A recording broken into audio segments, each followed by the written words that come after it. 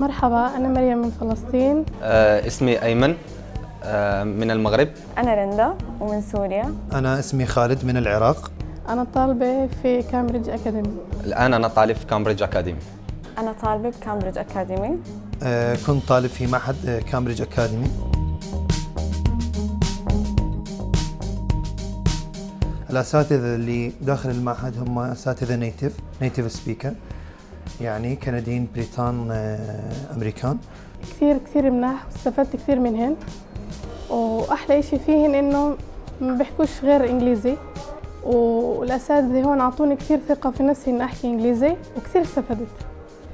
الحلو هون والأهم من هيك إنه اللي حفزنا على هذا الشيء اللي هن المدرسين اللي كانوا دائما يحفزونا على إنه نمارس اللغة بشكل كثير دقيق جوا وخارج ال class.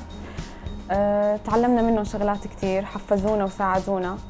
الأساتذة اساتذه زوينين و كيحاولوا أنهم يهبطوا معاك ال niveau باش انت تتعلم كتعرفهم آه، يعني كيفيدوك بشحال من حاجات à part à part الدراسه كيفيدوك في الحياة ديالك. يعني كيعطيك واحد الأمل باش أنك تكمل. صافي هادشي اللي كاين. والتحسن في اللغة ديالك. طبعا فادتني كثير يعني. قلت لك أنا بديت من الصفر يعني نقلة نوعية صارت. بديت من الصفر وانتهيت إلى مستوى يعني جيد جدا إنه أقدر أتواصل أقدر أجاوب أقدر أسأل أقدر أتعامل مع أي إنسان آخر يعني سواء يعني جي يعني أقدر أتواصل مع كل العالم بما إنه اللغة الإنجليزية الأولى على العالم يعني. أه طبعا إجيت لهون وبديت من الصفر. الأهم من هيك إنه مستواي كثير تحسن وتطور بمده جدا.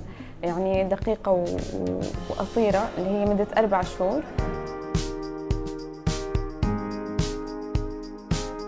أي بعدنا اتواصل في طلاب من المغرب العربي موريتانيا الجزائر. أيضا طلاب أفارقة. من كل الجنسيات. لأن هو معهد معهد دولي يعني. طبعا تعرفت على رفقة كثير هون من دول مختلفة.